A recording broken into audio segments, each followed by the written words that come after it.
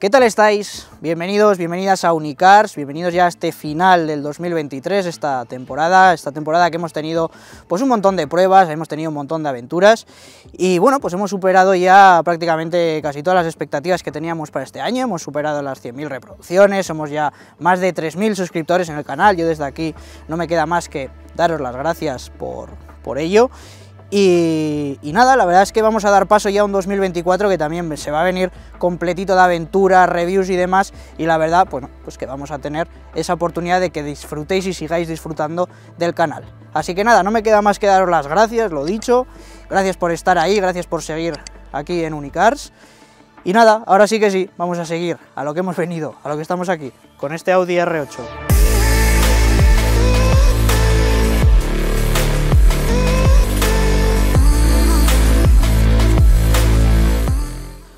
Bueno, y ahora sí que sí, os he traído para despedir el año este Audi R8.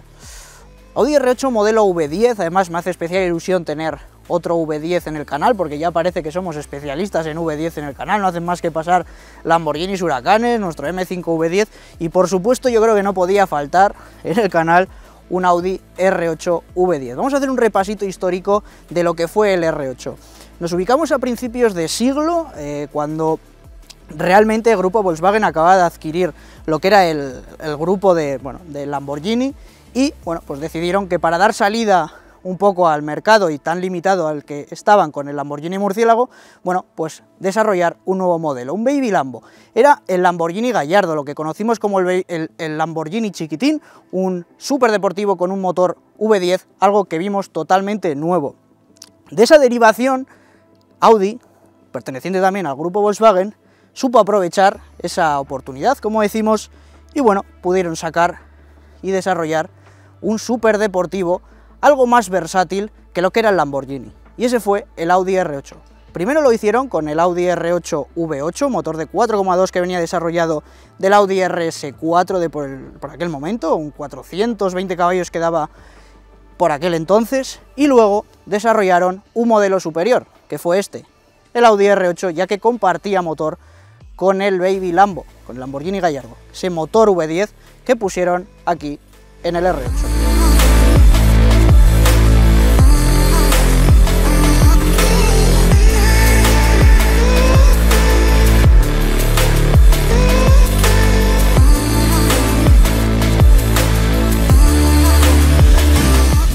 Bueno, pues nos ponemos ya los mandos del Audi R8 en su variante V10.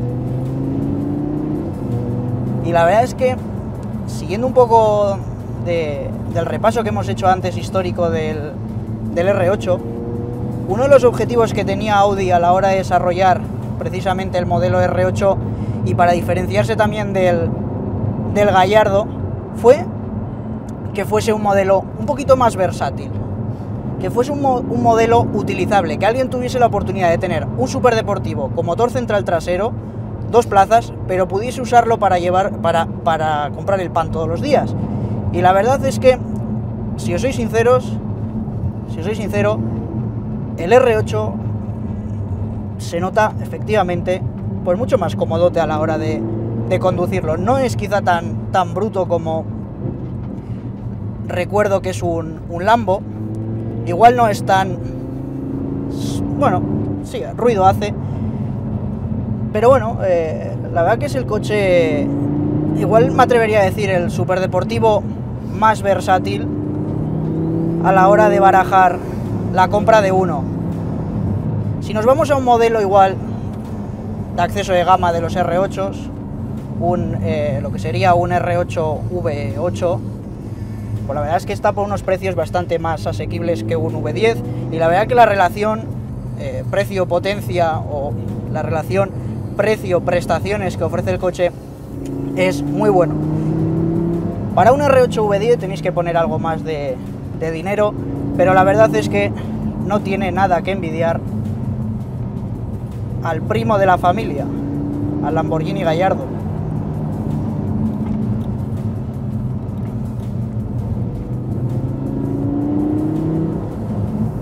Y eso de que no es ostentoso, me río yo me río yo porque ver un, coche tan bajito y tan ancho la verdad que de sonido no tiene nada que envidiar a nadie. Y luego además recordemos que llevamos tracción 4. Yo personalmente ahora mismo agradecido de ello, después de que ayer tuviese un pequeño sustito con el M5 en la autovía, que por culpa de un charco pues eh, me puse a dar bandazos en mitad de la autovía. Y la verdad que en cuestiones de seguridad tener un superdeportivo, un superdeportivo de este calibre con, con tracción integral, pues es algo que se agradece. La manera en la que se mueve por las curvas va muy bien. Y la verdad es que me parece una combinación de superdeportivo muy perfecta. Y luego lo que me decía su propietario, es un coche que no tienes que estar realmente muy encima de él a nivel de mantenimientos. No es un coche que dé mucha guerra,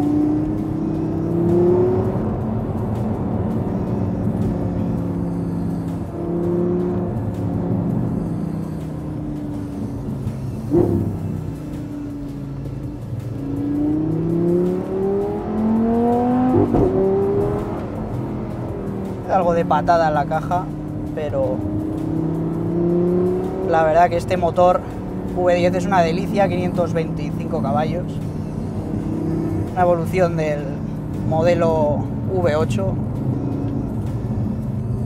Este motor, eh, bueno, pues lo que comentábamos al principio, no viene heredado directamente de, del motor que montaba Lamborghini en el Gallardo y que luego ha ido montando pues en el Lamborghini Huracán. Y bueno, toca decirle adiós al R8. Nosotros vamos a darle adiós también al, 2023, pero en este 2023 el R8 dice adiós porque lamentablemente Audi ha decidido bueno, pues cesar su producción para desarrollar nuevos modelos híbridos y eléctricos.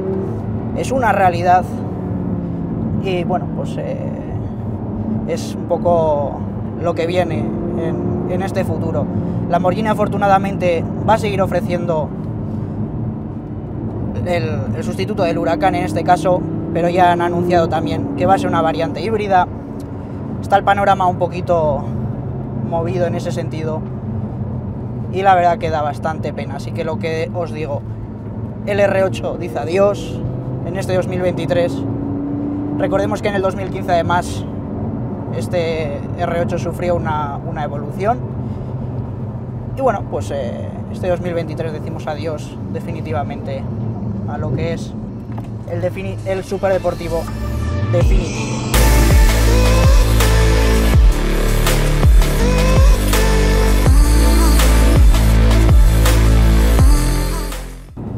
Y bueno, toca despedir lo que digo, 2023, toca despedir este vídeo también. Espero que os haya gustado este R8 V10, que la verdad que es una delicia como cómo va por curvas.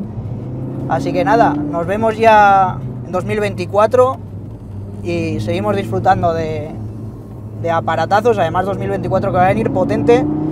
Estuvimos hace unos añitos en California, acordaros. Bueno, pues este 2024 os puedo adelantar que vamos a volver a California, vamos a volver a Los Ángeles y vamos a volver a disfrutar del mundo del motor americano.